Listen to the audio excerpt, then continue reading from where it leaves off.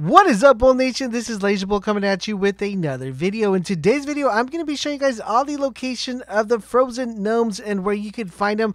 I'm currently right now streaming live and trying to find each and every one of these. So I was able to find all seven of them, and here are their exact locations.